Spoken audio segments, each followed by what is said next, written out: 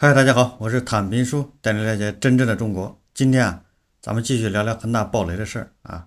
这期主要是聊这个恒大汽车和恒大这个复工复产保交楼这个情况。咱们先聊聊恒大汽车。最近啊，恒大汽车这个在资本市场动作有点频频啊。先是这个增发了两轮，大概三十多亿吧，然后再增加注册资本。这些做法目的都是为了以后的这个招商引资。啊，引进这个战略投资者做准备。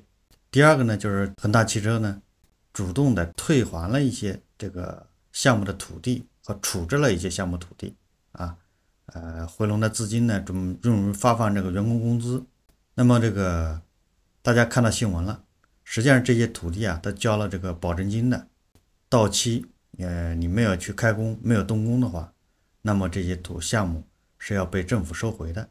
与其被政府主动收回，还不如自己去退，对吧？跟政府去谈退回去，把那个保证金啊能拿回来一点是一点。但是有部分项目的这个保证金是被政府扣了啊，这个看新闻可以看到。这个实际上是恒大汽车的也是无奈之举。当初啊拿恒大汽车这个项目的时候啊，啊各地这个做汽车城、汽车这个产业的时候啊，给他配套了很多这种。生活用地，啊，其他的配套用地，实际上是想通过恒大是希望通过这些配套用地啊，开发住宅，收割一轮，哪知道资金链断了，对吧？玩不下去了，那这些地在手上，保证金也交了，那只能退啊，这是无奈之举。从另一个角度来说呢，恒大汽车这样处置一些这个边缘的一些或者是其他的辅助的一些资产，也有利于它轻装上阵。那么接下来恒大汽车会如何发展呢？目前看，这个应该是生产线应该是通了，对吧？可能要进入中试，这都需要大量的资金的。你的车一旦下线，那你卖给谁呢？你的整个销售体系，对吧？市场怎么铺呢？啊，售后怎么办呢？所以这一切一切的一切都需要大量的钱和这个团队。那么呢，我觉得这个恒大汽车啊，靠目前靠许老板。这个也很难把它带入到一个这种境地。许老板可能更大的精力要放在复工复产保交楼上面，要复要要放在如何处置这个美元债上面。那么这个恒大汽车呢，目前也有媒体放出消息说，恒大汽车正在谈这个战略投资者。我猜想啊，这种战略投资者啊，目前来看最有可能的是谁呢？传统的汽车产业。想踏入这个新能源汽车领域的啊，电动汽车领域的，这肯定是个潜在的这个投资者。还有一个还有潜在投资者呢，就是类似小米这样的公司啊。小米最近新闻报道，它是成立了这个汽车公司吧？啊，最近这两天的事儿。小米跟恒大也谈过，但是谈崩了啊。那个时候恒大可能还没有出现暴雷啊，可能是财务状况不好了，已经恶化了，但是毕竟还没有暴雷。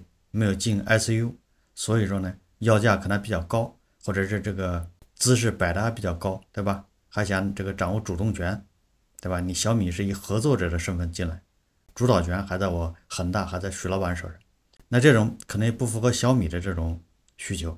小米呢，也想强势进入这个新能源汽车、电动汽车领域，呃，这是小米自身发展的一个需求啊。大家可能知道，小米做手机啊，其实做的很辛苦。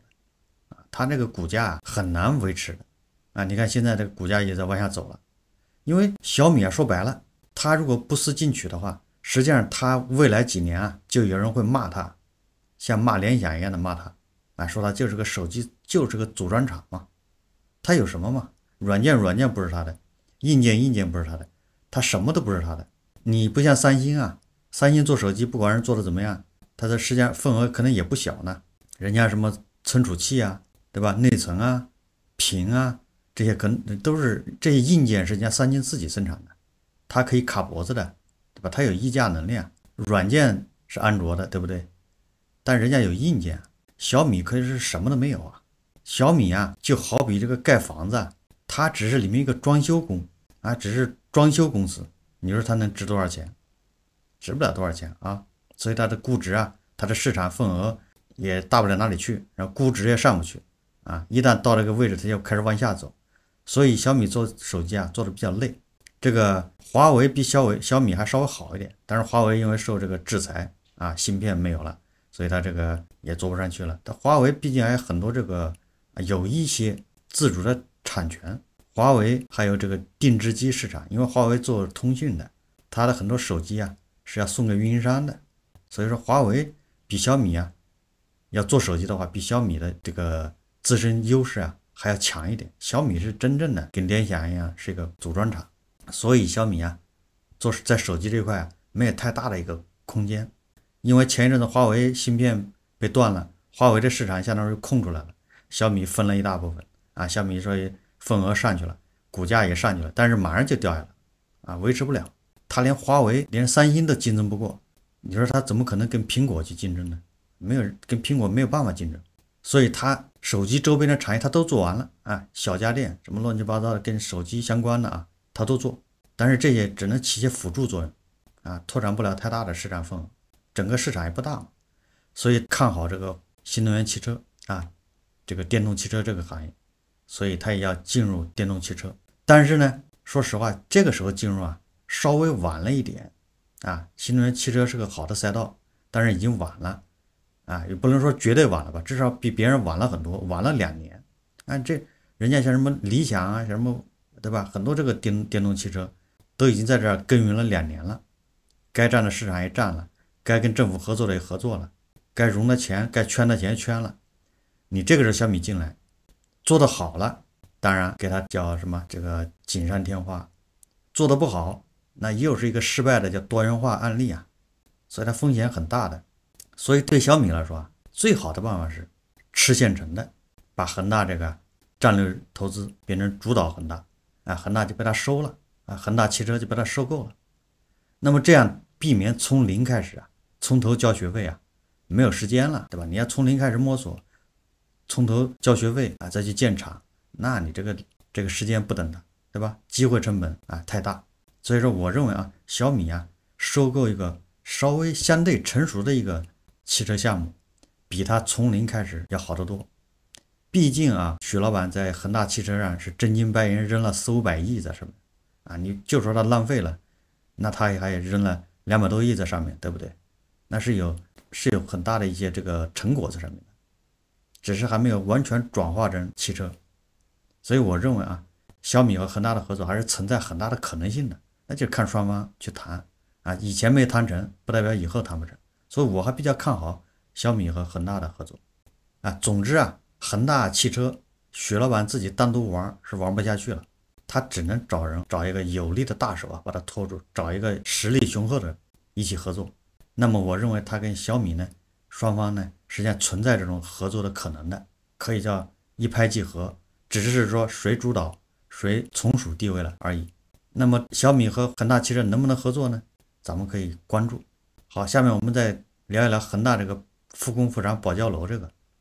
大家也看到啊，许老板连续在香港市场抛售自己的中国恒大股票，这个是真的往出卖啊，这个十几亿股、十几亿股的卖，那么这回来几十亿啊，这个钱十有八九是用来这个一个付这个员工的基本生活费的，你要付的，不付后面都没人给你干活了，员工要吃饭啊。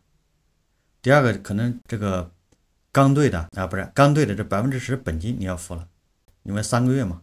然后美人债的利息，他的这些钱他要掏，但是他没有一分钱进项啊，对吧？他所有的项目那些资金都被监管住了，他的资产卖也卖不出去，他只能在抛他的中国恒大股票啊，回来点钱去付这些项目，去付这些员工工资啊，这个恒大理财的这个刚兑的这个百分之十这个本金啊，还要准备付美人债利息啊，对吧？只能卖股票。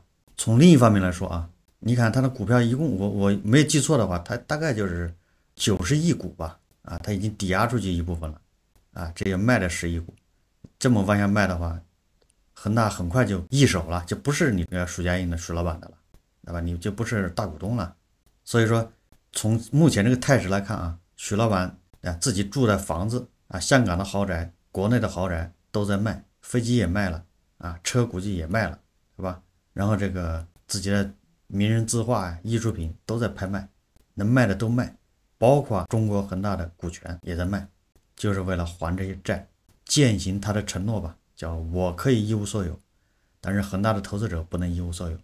呃，目前来看，他是在朝这个方向做，啊，不管他是真心的还是言不由衷啊，被逼的，总之确实在这么做。那么大家都传言的啊，都觉得你肯定还藏了钱嘛，对不对？你那些是不是在国外有什么基金啊，对不对？有什么家族信托嘛？这是传言的嘛？哎，瑞士的银行账户是不是藏着钱啊？都打着问号的，对不对？我想这钱啊，十有八九会水落石出的，他也藏不住。往后越看就能越看明白，到底有没有这笔钱，到底会不会有传说中的家族信托，这个可以关注。但是呢，徐老板这么卖卖卖。也有一定的效果了啊！现在全国各地啊，很多项目复工，这是事实啊。可能也不排除有部分项目表演、作秀，对吧？呃，请几个工人去在里面敲敲打打啊，说复工了。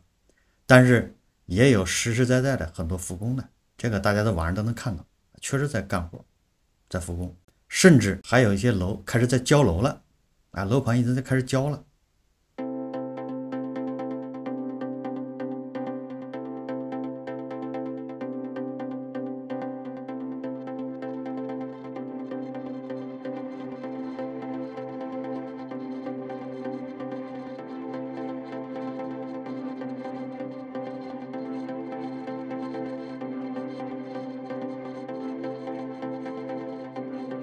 交付了，呃，应该山东的吧，有一两个项目开始交付了，所以这工作啊，还是有一定进展的，呃，不能大家不能太悲观。恒大刚爆雷的时候我就说了，恒大的这个项目啊，窟窿小的啊，肯定很快就给复工，甚至是很快就按期如期交付，啊，只有那些窟窿大的，可能要扯皮，扯上一段时间，这个扯皮很复杂的，啊，你我就举个例子啊，你这个楼。它有一期，它有二期，啊，一期可能盖完了，啊，但是但是还差一点，二期呢差的稍微多一点，但是总体上说挤一挤、匀一匀，把这后面的再卖一卖，这个资金大概其实够啊，当然稍微少点，这样的话政府就要做工作了，各方都要让一点，对吧？你承建商啊、供应商啊，是不是都打打折？我要把这个烂尾楼啊，我要把这个楼要完工，那你业主这边呢，是不是也让让步？本来是精装的，我现在。精装一个标准嘛，对吧？本来是呃，我举例子啊，两千一平米的标准，现在改成一千一平米，行不行？你看业主一口咬定不行，必须两千平米的。好，那楼就烂在这，反正推不动嘛。你要认可了，咬咬牙说行，对吧？业主代表都同意，行，那这样勉勉强强的把楼盖完，把房子交给你，你这这就逼着你业主选嘛？你是等着他往后烂不确定呢，还是说干脆把它盖好算了？这个标准差点就差点吧。能交付，这这是，这是我这举这样例子啊。还有比如绿化、公共建设、公共设施，本来是要投五千万的或者一个亿的，这块能不能省掉？啊，绿化差一点行不行？这都是侵害这个这个购房者利益的，或者业主利益的。但是没有办法，你是看着它烂尾好呢，还是说干脆盖完了房子交给我，房产证我拿到手好呢？业主也要做出选择。甚至啊，一期业主跟二期业主之间都有矛盾的，因为你看啊。一期业主啊，是现在心情非常这个叫什么郁闷，因为我买这房子肯定贵呀，一期肯定贵一点嘛。现在房子往下走嘛，本来心情就不好，对吧？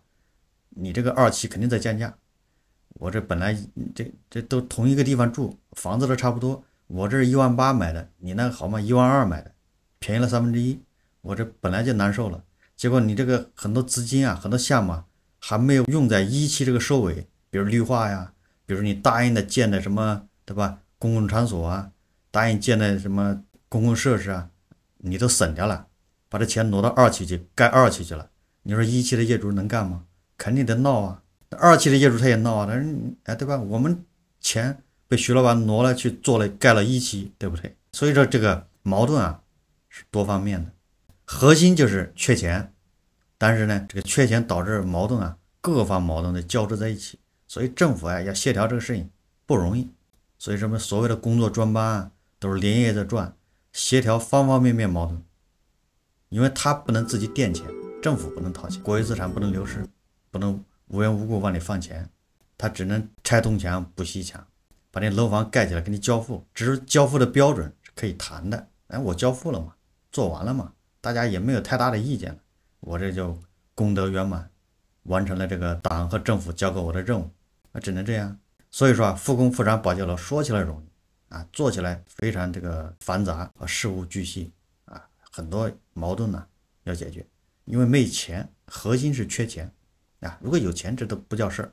具体的啊，我认为接下来可能陆陆续续也会有很多房子要交付了，那么恒大也肯定要做一番宣传。具体后面这个房子复工复产交付情况，咱们可以进一步关注。